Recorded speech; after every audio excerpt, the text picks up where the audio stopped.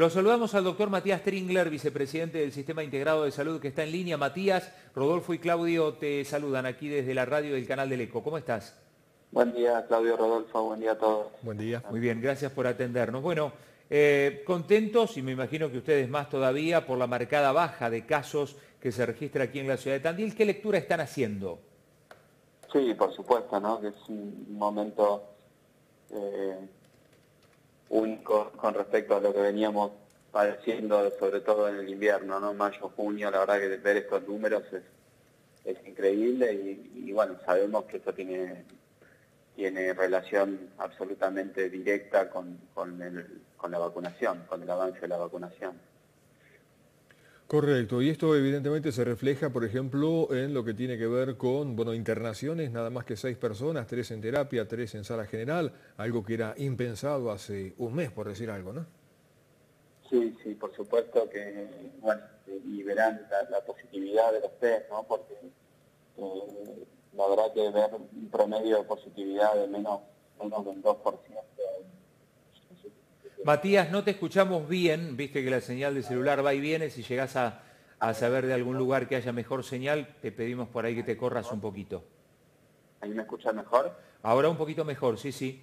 Decía que la positividad promedio los últimos siete días menor al 2% marca también una, una tendencia muy, muy importante a que, a que esté la, situación epidemiológica como está, ¿no? con, con pocos casos de internación, poca, poca gente que, se complica por, la enfermedad.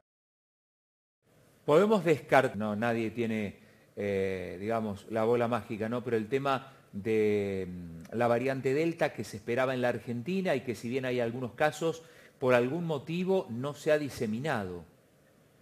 Mira, la, variante Delta eh, eh, definitivamente va, va, a circular en algún momento porque ha pasado, no hay por qué pensar que no, que no vaya a pasar en, en el país. Lo que, lo que sí nos ha dado un tiempo, un tiempo importante, digamos, ¿no? Esto, esto, estos meses que, que, hemos podido avanzar con la vacuna sin tener casos de variante Delta han sido muy importantes. Y cuando llegue la variante Delta, nosotros tenemos el nivel de vacunación que tenemos eh, va a ser una variante de, poco riesgo, ¿no? De, pasar a ser una variante de preocupación, va a pasar a ser una variante que posiblemente cause contagios, porque sabemos que hay escape inmunológico a la vacuna, pero no necesariamente haga los estragos que hizo la, situación, la misma situación de circulación viral cuando no teníamos la población vacunada.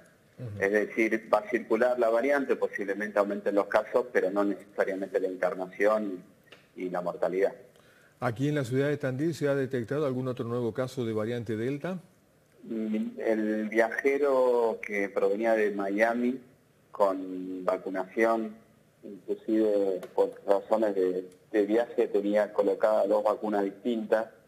Tenía Sputnik y tenía la Pfizer eh, llegó a ser el resultado de que fue positivo, se hicieron todos los protocolos del viajero y demás, y eh, finalmente era una variante Delta. Así que eh, tenemos un tercer caso, digamos, confirmado en la ciudad de variante Delta, que por suerte y por todos los cuidados de los protocolos no, no se ha diseminado, no, no ha habido ningún caso estrecho ni ni que hayamos tenido que hisopar vinculado a, ese caso. Pasa como siempre, Matías, que el resultado llega cuando el paciente ya está dado de alta. Sí, sí, sí. Este demoró más de lo, de lo que venían demorando. Estuvimos más de un mes esperando el, resultado. Bien. ¿Cuál es el perfil justamente de este tercer paciente? Digo, ¿es una persona joven? ¿Qué dato podemos dar?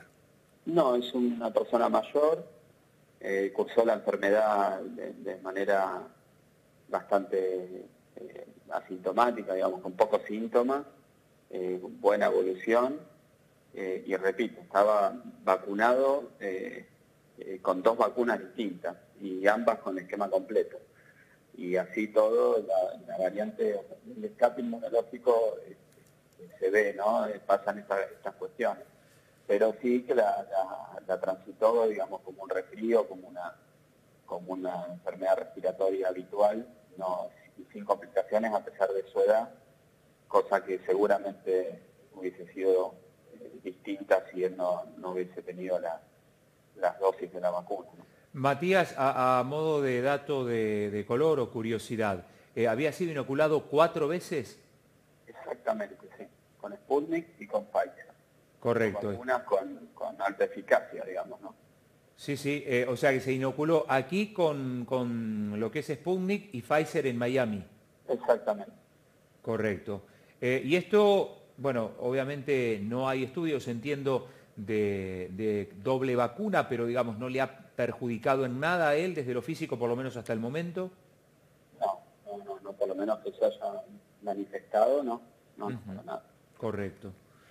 Bueno, no, una, curiosidad, digamos, como, como dato de, color. Sí, a todos nos llamó la atención, ¿no? Porque la verdad que con, dos, con dos vacunas que de alta eficacia, como son la, Sputnik y la, y la Pfizer, y la verdad que haber dado positivo e incluso leves pero tener síntomas, la verdad que nos llamaba mucho la atención, era altamente probable que se tratara de la variante Delta, por, por lo que sabemos, pero bueno, se confirmó, se confirmó ya.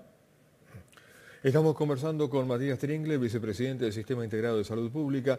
Veíamos en los partes, eh, por ejemplo en el de ayer, 194 muestras procesadas, usted planteaba que es menos del 2% de o menos del 1% de positividad. Eh, ¿Cuáles son las personas que se van a mm, bueno, procesar, a, a, isopar, digamos? Em, ¿Se trata de gente que tiene síntomas o están trabajando con asintomáticos también? No, hay una un gran testeo porque justamente circulan otras virosis, los virus estacionales que normalmente vemos con alta circulación en junio, julio, eh, por las cuestiones que, todos conocemos, de, los protocolos, los cuidados, la, escolaridad, digamos, un poco suspendida en los meses de invierno, ha hecho que por ahí se empiecen, empiecen a circular un poco más tarde y bueno, hay mucha gente con síntomas respiratorios que se deben sobre todo al virus incisional respiratorio, que es el virus habitual del resfrío, que provoca eh, generalmente un poquito más de, complicaciones en los, menores, en los niños, eh, con broncospasmos y con laringitis. Hoy en el hospital de niños hay muchas camas ocupadas con, este, con esta virosis.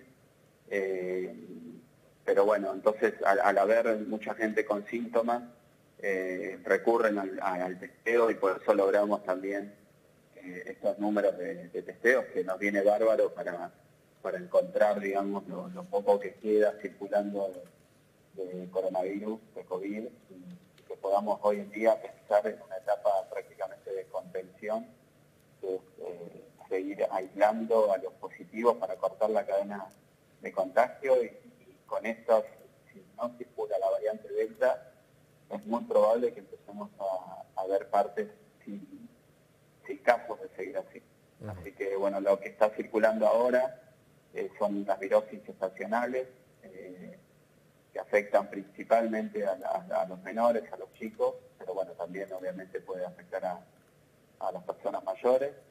Y, bueno, y este, este alto nivel de testeo tiene que ver con eso no hay tanta gente asintomática que, se esté testeando como para tener números.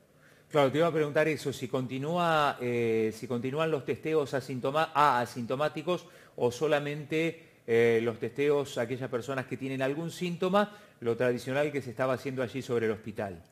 No, en el mismo lugar, digamos, en los hospitales, en los centros de salud, podemos, seguimos testeando contactos estrechos y personas asintomáticas. Lo que no hemos, lo que hemos suspendido, por lo menos por ahora, mientras tengamos este nivel de esta situación epidemiológica, este nivel de testeo, son los testeos estos eh, itinerantes, porque bueno, la, verdad que en los últimos, en las últimas tres salidas hemos tenido muy poca gente. Y, bueno, entendemos que la situación epidemiológica nos permite, nos permite, y además el alto nivel de testeo que estamos teniendo, eh, nos permite eh, suspender un poco la actividad y veremos más adelante si la reprogramamos o no.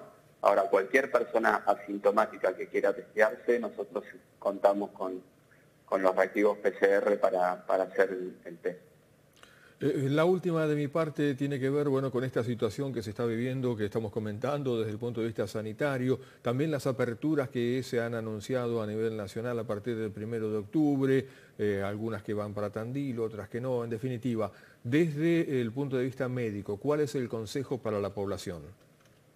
No, hay situaciones, digamos, que, que uno no deja de sin, desconocer que la situación epidemiológica es muy buena y que el nivel de, vacunación nos da mucha tranquilidad. Recuerden cuando bajó, digamos, la, primera ola, que, todo parecía que el COVID se había ido, pero la realidad era que teníamos casi el 90% de la población susceptible de enfermar, porque no había vacuna. Eh, con lo cual había bajado la curva, pero estábamos muy expectantes de que eh, donde empezara a circular de nuevo la virosis íbamos a, entrar en otra ola y así sucedió. La situación ahora es distinta porque ha bajado el nivel de casos, pero además tenemos casi un 50%, un poco más del 50% de población eh, vacunada con esquema completo, con lo cual no hay tanta susceptibilidad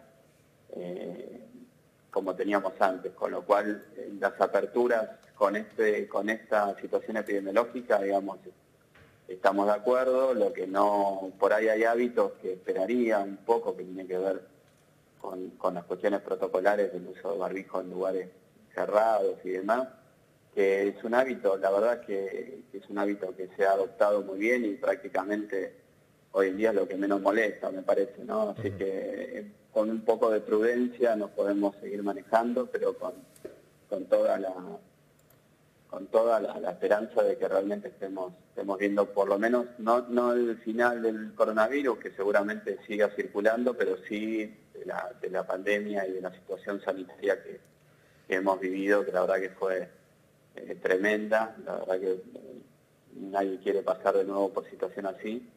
Eh, y estamos expectantes de que pase con la variante Delta, pero tranquilos con el nivel de vacunación que tenemos, aunque, aunque circule, así que eh, las aperturas me parece que, tienen razón de ser, no que están ahora, eh, no, la vemos con malos ojos, sí me parece que la gradualidad es, algo que, esa prudencia me parece que la tenemos que tener.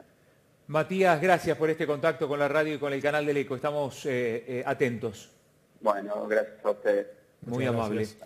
El doctor Matías Tringler, eh, vicepresidente del Sistema Integrado de Salud, eh, baja de casos, realmente vamos en 30... 31 casos activos en este momento aquí en la ciudad de Tandil, 6 nada más internados, 3 en terapia, 3 en sala general. Bueno, y hubo tres casos de la variante Delta en Tandil, todos eh, controlados, no produjeron aparentemente contagio y con la particularidad de que este último caso era un viajero que estuvo en Miami y que estaba inoculado cuatro veces, dos con las dos, eh, con las dos dosis de Sputnik y en eh, Miami se vacunó con la Pfizer. ¿eh? Tiene dos esquemas, tuvo dos esquemas completos de vacunación. Bueno, se contagió igualmente, lo pasó de manera leve, como una enfermedad respiratorio, respiratoria leve, pero bueno, la particularidad de que tenía la variante Delta, probablemente contagiado en Estados Unidos, y tenía los dos esquemas completos de vacunación, con Sputnik y con Pfizer. Una persona mayor de edad, según lo que nos comentaba, y que, bueno, como usted bien decía, no ha tenido complicaciones.